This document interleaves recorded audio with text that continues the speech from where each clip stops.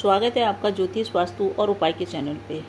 इस वीडियो में हम बात करने वाले हैं वृश्चिक राशि स्कॉर्पियन के लिए। ये सप्ताह कैसा रहेगा? अप्रैल महीने की शुरुआत का एक अप्रैल से लेकर सात अप्रैल तक के दिन कैसे रहेंगे? पूरा राशिफल मेरा नक्षत्रों के आधार पर होगा। जिन जिन नक्षत्रों में चंद्रमा विचरण करेगा, उसी आधार पर मैं उपाय भी बताऊँगी। तो शुरू करते हैं वृश्चिक राशि पर। इस सप्ताह आपको स्टार्टिंग के अंदर ये लग सकता है कि आपके काम नहीं बन रहे हैं, आपको भाग्य का सपोर्ट नहीं है, परंतु ये तुरंत ही एक दिन के बाद ही आपकी स्थिति बदल जाएगी। और दूसरे मंगलवार से ही आपको लगेगा कि आप लाभ की स्थिति में हैं, आपके काम बन रहे हैं और आपके दिन अच्छे आ रहे हैं। तो ये जो सप्ताह है, एक तारीख और दो तारीख की हम बात करें, इस दिन चंद्रमा चलेंगे आपके सेकंड घर के अंदर। सेकंड घर होता है हमारे वाणी का, धन का और कुटुंब का। तो ये दिन आपके लिए बढ़िया है। आपको कहीं ना कहीं से धन प्राप्ति होगी और धन आने से आपके कार्य नहीं रुकेंगे। साथ ही साथ आपको अच्छे फलों की भी प्राप्ति होगी संबंध भी आपके अच्छे बनेंगे। जिन लोगों का विवाह नहीं हुआ, उनको विवाह से संबंधित सूचना प्राप्त होगी लव लाइफ भी अच्छी चलेगी। लव लाइफ में जो प्रॉब्लम थी वो दूर होएगी। और लव लाइफ के रिलेशन भी अच्छे होंगे। वर्क प्लेस पे सीनियर्स के साथ आपके संबंध अच्छे बनेंगे, आपका समाज में मान सम्मान और ख्याति बढ़ने वाली है। शुक्र आपको सपोर्ट कर रहे हैं, इसलिए आपको अपने जीवन साथी से भी सपोर्ट इस समय आपको मिलेगा। पूरे सप्ताह आपको जीवन साथी से सपोर्ट मिलेगा और आपके संतान से भी सपोर्ट मिलेगा। ये दो बातें पूरे सप्ताह आपके चलेगी। तो एक तारीख को जब चंद्रमा चलेंगे मूल नक्षत्र में तो आपको क्या करना है केतु के उपाय करने हैं। काले और सफ़ेद रंग के कुत्ते को या कुत्ते को जो भी कुत्ता मिले, उसको आप खाना दें और किसी भी कुत्ते को आप परेशान न करें। न उसको पत्थर से मारें। इस दिन केतु के नक्षत्र में चल रहे हैं, इसलिए आप इस दिन इमली का सेवन बिल्कुल भी न करें और जितना हो सके हनुमान आराधना में अपना समय व्यतीत करें। और दो तारीख को भी चंद्रमा आपके इसी नक्षत्र में चलेंगे, धन, इसी राशि में चलेंगे, धनु राशि में तो वही परिणाम प्राप्त होंगे जो भी बताएँ। परंतु उपाय आपको दो तारीख को कौन सा करना है कि उत्तराषाढ़ा नक्षत्र में चल रहे हैं। चंद्रमा उत्तराषाढ़ा का मतलब बाद में विजय होना। तो मंगलवार से वैसे भी दिन आपके अच्छे आ रहे हैं, मंगलवार से आपके लाभ की स्थिति में आ रहे हैं तो घुटनों में दर्द आपके नहीं हो। घुटनों से संबंधित प्रॉब्लम नहीं हो चक्कर आने की प्रॉब्लम नहीं हो, इसलिए आज आप सूर्य आराधना अवश्य करें, क्योंकि ये नक्षत्र है सूर्य का। सूर्य के आदित्य हृदय सूत्र का पाठ करें। अब बात करते हैं तीन तारीख और चार तारीख की। तीन और चार, दोनों दिन चंद्रमा चलेंगे आपके तीसरे घर के अंदर। तीसरा घर होता है हमारे पराक्रम का, पुरुषार्थ का, कार्यकुशलता का, छोटे भाई बहनों का, हमारे सामाजिक सर्किल का। तो आपका सामाजिक सर्किल बढ़ेगा, समाज में आपका मान सम्मान और रुतबा बढ़ेगा, शिक्षा में भी सुधार होएगा प्रॉपर्टी से संबंधित कार्य आपके बन सकते हैं, यात्रा की भी योग बनेंगे छोटी मोटी यात्राएँ आपकी हो सकती है, कुल मिला के ये आपके आत्मविश्वास में वृद्धि करेगा। किसी भी प्रकार का आप कार्यकुशलता तो बहुत बड़ी चढ़ी रहेगी पेंडिंग कार्यों को करने के लिए ये दोनों दिन बहुत ही बढ़िया हैं, तीन तारीख और चार तारीख। तीन तारीख को चंद्रमा चलेंगे श्रवण नक्षत्र के अंदर। तो आप जितना हो सके कम बोलें। तीन तारीख को आपको इसी चीज़ का ध्यान रखना है। पूरे दिन कि आप कम बोलें, अधिक सुने।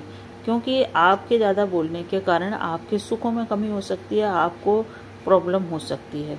लग्नेश भी आपके जो लग्नेश या मंगल वो शनि के साथ भी चल रहे हैं तो आने वाले दिनों में आपको आज बोलने से परेशानी नहीं हो। तो नकारात्मक विचार भी न लाएँ और ज़्यादा भी न बोलें। इससे आपको सपोर्ट मिलेगा। बाहर वाले लोगों का भी और अंदर के लोगों का भी। कानूनी विवाद को चल रहा था तो वहाँ पे आपकी विजय निश्चित है, परंतु फिर भी आप शांत रहें, धीर गंभीर रहें। कोई बड़ा धन प्राप्ति भी आपको इस दिन हो सकती है। प्रॉपर्टी का सेल परचेज करते हैं तो उसमें आपको लाभ अवश्य ही होगा। शिक्षा में आपके सुधार होएगा, रिश्तों में आपके सुधार होएगा।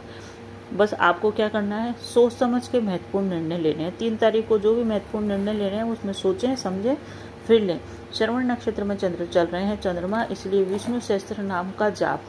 प्रातः उठते ही सुन लें मोबाइल पे। सुनने से क्या होगा कि आपको अच्छे वचन सुनने को मिलेंगे, आपको डांट फटकार और आपकी बुराई सुनने को नहीं मिलेगी और आपका, आपको ऐसे वाक्य सुनने को मिलेंगे जिससे आपका मन प्रसन्न रहेगा। प्रशंसा जनक वाक्य आपको सुनने को मिलेंगे। बॉस का अप्रिसिएशन मिलेगा। तो श्रवण नक्षत्र में चलें, जब भी चंद्रमा, हमेशा ये उपाय ध्यान रखें कि विष्णु सहस्त्र नाम आपको सुनना अवश्य है। चार तारीख को भी चंद्रमा चलेंगे आपके मकर राशि में, इस दिन भी आपको अपने निर्णय बहुत ही सोच समझ के करने हैं और इस दिन का ये उपाय रहेगा कि आपको घनिष्ठा नक्षत्र में चल रहे हैं चंद्रमा। घनिष्ठा नक्षत्र है मंगल का तो हनुमान चालीसा का पाठ करें, इससे आपकी बुद्धि सही रहेगी और हनुमान अष्टक का पाठ भी आप ज़रूर ही करें। हो सके तो हनुमान मंदिर जाएँ तो आपको प्रॉपर्टी से संबंधित महत्वपूर्ण कार्य आपके इस दिन बन सकते हैं। तो अब हम बात करते हैं पाँच और छः तारीख की। पाँच और छः तारीख को चल रहे हैं ये चंद्रमा कुंभ राशि में, जो कि आपके पड़ती है फोर्थ हाउस में। फोर्थ हाउस होता है हमारे माता का। मंगल और शनि की युति भी आपके फोर्थ हाउस में चल रही है तो घर में थोड़ी सी सुखों की कमी आप महसूस कर सकते हैं इन दो दिनों के अंदर। कौन सी तारीख? पाँच और छः तारीख। सात तारीख बहुत अच्छी है। पाँच तारीख को माता के सुख में कमी हो सकती है। यात्रा अगर आप करने जा रहे हैं तो यात्रा में आपको परेशानी का सामना करना पड़ सकता है। विरोधी आपके बढ़ सकते हैं। कोई भी महत्वपूर्ण निर्णय ले रहे हैं तो बहुत ही सोच समझ के लें। मंगल शनि की युति के कारण आपके निर्णय जल्दबाजी में आपने लिए तो गलत जा सकते हैं। विरोधी आपके बढ़ सकते हैं। कोई चोट की भी प्रॉब्लम हो सकती है। या कोई बीमारी बीमारी आपके हो, पहले से चल रही है तो उसके इलाज आप प्रॉपर लें। चक्कर आने की प्रॉब्लम रह सकती है। इसलिए आप मानसिक शांति के लिए, चंद्रमा को मज़बूत करने के लिए, क्योंकि चंद्रमा भी चल रहे हैं आपके माता के घर में तो बुद्ध का, बुद्ध को मज़बूत कीजिए। आप बुद्ध आपकी बीमारी का कारण है। अष्टम कर का मालिक है। हरी सब्ज़ियाँ खाइए, गणेश की आराधना कीजिए। साथ ही साथ पाँच तारीख का जो उपाय है, वो ये है कि छः तारीख, पाँच तारीख का उपाय है कि चंद्रमा चल रहे हैं सतवीक्षा नक्षत्र में, राहु के नक्षत्र में। तो आप गणेश आराधना कीजिए, आपको बहुत ही फ़ायदा मिलेगा। छः तारीख को भी आप गणेश आराधना अवश्य कीजिए, पाँच तारीख को हाँ छः तारीख को गणेश आराधना कीजिए, इससे भी आपके फ़ायदे, फ़ायदा ही होगा आपको। और पाँच और छः तारीख को यह है कि संपत्ति से संबंधित कोई शुभ सूचना आपको प्राप्त हो सकती है। अगर आप ट्रांसफ़र के लिए प्रयासरत हैं तो आपका ट्रांसफ़र मनचाही जगह हो सकता है। ये अच्छा परिणाम है। पाँच और छः तारीख को फोर्थ हाउस में चल रहे हैं, परंतु प्रॉपर्टी का घर है ये तो प्रॉपर्टी से संबंधित कार्य हो सकते हैं। शुभ शुभ समाचार भी मिल सकते हैं, परंतु माता के सुख में और घर में सुख सुख में आपको कमी महसूस होगी पिता से आपको लाभ प्राप्त होगा कहीं नई जॉब लगी है आपको तो नई जॉब में जो भी परेशानी आ रही थी, वो जल्दी से सॉर्ट आउट हो जाएगी और आपको कोई प्रॉब्लम नहीं होगी कार्य क्षेत्र में आपकी उन्नति होगी अगर आपकी अभी तक जॉब नहीं लगी थी तो जॉब लगने से संबंधित प्रयास आपके सफल होंगे। कुल मिला के देखें तो बाहरी दुनिया के हिसाब से ये दिन बहुत ही बढ़िया है, परंतु माता के हिसाब से थोड़ी सी प्रॉब्लम है और थोड़ी सी प्रॉब्लम यात्रा के अंदर है। अब बात करते हैं सात तारीख को। सात तारीख का दिन सप्ताह का अंत बहुत ही बढ़िया आपके लिए होने वाला है, क्योंकि शुक्रदेव आपके फिफ्थ घर में आ रहे हैं तो जीवन साथी से पूरा सपोर्ट मिलेगा, बराबर सपोर्ट मिलेगा। जीवन साथी से बहुत अच्छे संबंध रहेंगे और बहुत ही केयरिंग लविंग आपका जीवन साथी इस गोचर काल इस दिन रहने वाला है। पैसा भी बहुत आएगा, जीवन साथी के माध्यम से लाभ भी होएगा और आपकी खुद की बुद्धि भी बहुत अच्छी रहेगी और जो भी आप निर्णय लेंगे, वो बड़े ही सही निर्णय लेंगे। बच्चों के संबंधित काम भी आपके होंगे, बच्चों के शादी विवाह के कार्य हो सकते हैं, बच्चे पढ़ाई कर रहे हैं, एडमिशन कहीं लेना चाह रहे हैं तो पढ़ाई लिखाई, एडमिशन से संबंधित सारे कार्य होंगे और बच्चों को आपको सपोर्ट भी प्राप्त होएगा, बच्चों से आपका मन काफ़ी प्रसन्न रहेगा, क्योंकि ये घर है आपके बच्चे का, लव एंड रिलेशनशिप का और शिक्षा का। तो यहाँ पे शुक्रदेव आ रहे हैं। बहुत सारे आपके काम बनेंगे बड़े बड़े जो आपने सोचे थे। जो आपको नकारात्मकता थी सोमवार को, वो नकारात्मकता सप्ताह के अंत में जाते जाते पूरी तरह से पॉजिटिव हो जाएगी और शुक्र आपके जीवन में काफ़ी प्रसन्नता बाहर लेके आएँगे, मन प्रसन्न रहेगा। फिफ्थ भाव में शुक्र आके आपको प्रफुल्लित कर देगा। साथ ही साथ गुरु भी आपके लग्न में, गुरु भी आपके शुभ स्थान पे चल रहे हैं। तो गुरु आपके लिए धन लेके आ रहे हैं। तो अच्छा है आपके लिए सभी कुछ स्थितियाँ सप्ताह के अंत में अच्छी हैं। बड़े भाई से संबंध बहुत अच्छे होंगे। बड़े भाई से कोई तकरार चल रही थी तो उनका सपोर्ट मिलेगा, संबंधों में सुधार होएगा। विवाह का भी योग बना हुआ है। अगर आप लव मैरिज करना चाहते थे तो बहुत अच्छा योग बना हुआ है लव मैरिज की ओर आप प्रस्थान करेंगे। जीवन साथी की तलाश आपकी पूरी हो सकती है। संतान के लिए इच्छुक थे, संतान गर्भ ने संतान गर्भ में आ नहीं रही थी तो संतान कंसीव होने के चांसेस भी पूरे पूरे बने हुए हैं।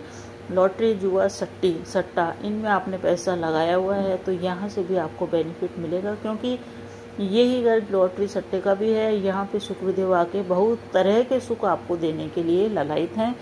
तो अवश्य करें शुक्र को प्रसन्न। इस दिन नक्षत्र चल रहा है पूर्वा भाद्रपत्र गुरु का नक्षत्र चल रहा है, इसलिए विष्णु चालीसा का जाप करना, किले की पूजा करना और साथ ही साथ अपने गुरु का सम्मान करना। ये उपाय आप अवश्य करें, इससे आपको फ़ायदा होगा।